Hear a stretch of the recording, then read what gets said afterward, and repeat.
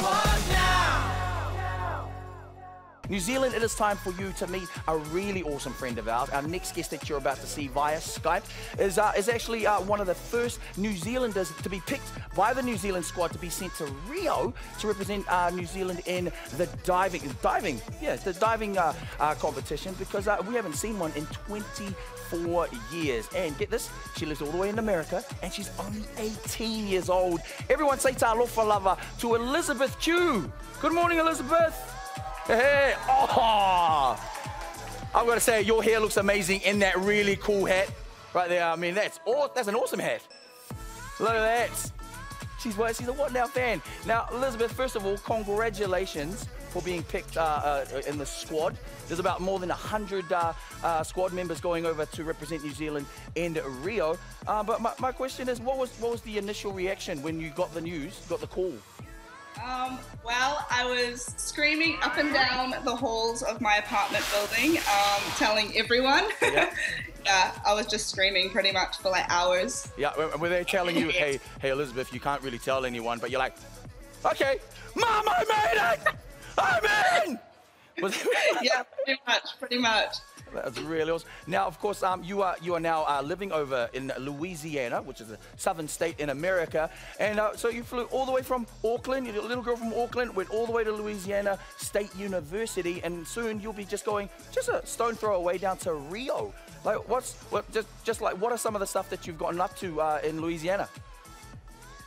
Um, not much, just eating lots of food. Um, diving, school. Yeah, mostly eating. Yeah, because I hear that there's this little tradition that they have in Louisiana called is it like um is it like some sort of crayfish hunting thing?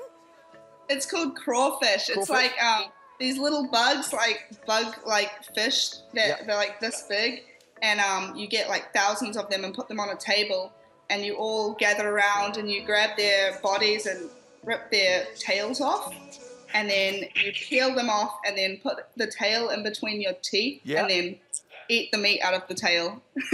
Oh, that sounds that sounds like something I want to be doing. I reckon all Samoans are like looking at you and go, oh, I want to do that. And so like just a whole bunch of mud cra- like mud crabbies on the table, and you just dig in. yeah, it's pretty fun. That Everybody is- just gets messy. That is really awesome. You won't be able to do that here in New Zealand.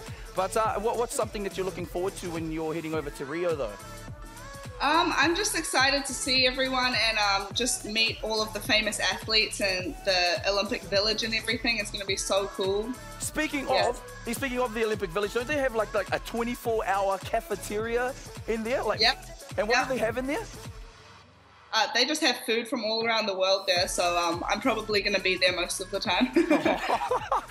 you couldn't resist, especially if it is open for 24 hours. But uh, but on, on that note, though, um, you look amazing uh, you see, uh, in, in our hats. So uh, we'd love to see that you wear that in the opening ceremony. But uh, we'd also want to say thank you so much for uh, taking your time out to Skype us um, uh, all the way here in New Zealand. And uh, from uh, on behalf of What Now and New Zealand, we wish you all the best in, uh, in Rio, Elizabeth. No problem. Thank you so much. Thank you so much. And if you can, just send us some crawfish if you if you if you get the time, okay? I'll post Because- it. All right, enjoy your Sunday. Thank you very much, Elizabeth. Bye Bye. bye. Laters.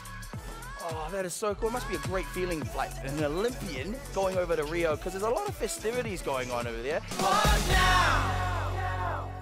What now? Sundays From 8 a.m. on 2.